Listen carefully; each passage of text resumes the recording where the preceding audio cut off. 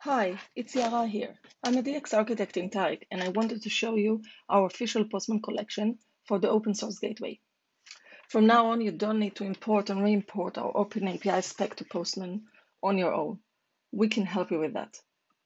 So let's head to the AP, our gateway APIs. I'm searching for Tyk APIs, and here I can click on Tyk Gateway APIs. Now, till now, you had to get this file, open API spec, and import it to Postman. This is the open API. But now you can use this button, run in Postman. You can uh, obviously view the collection online here. And these are all our APIs. And if you delete these bits after Tyk, you can see information about our company. Takes a bit of time to load. And here is our API collection. And once we add more collections for the dashboard or pump and others, you will see it right here. So now if we go back and try to import a copy so we can actually use it with our gateway, it will be really nice. So let's do that. Now Postman told me that it has been imported successfully. This is our collection. Let's view the complete collection documentation and browse through that or use the table of content. And let's, for example, jump to list APIs.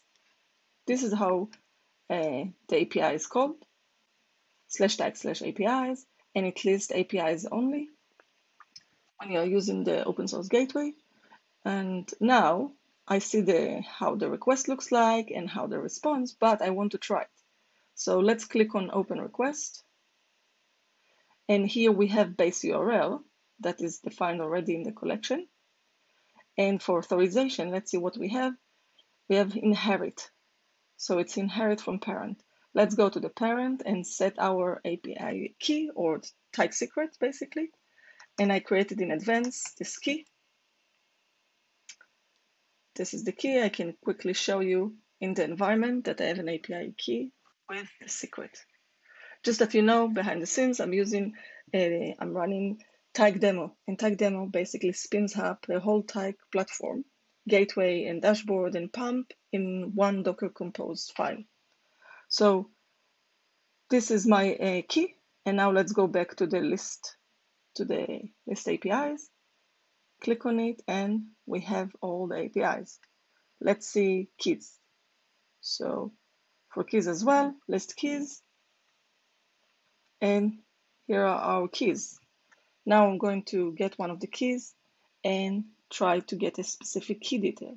So get a key, and here I can put the key, but it's not working.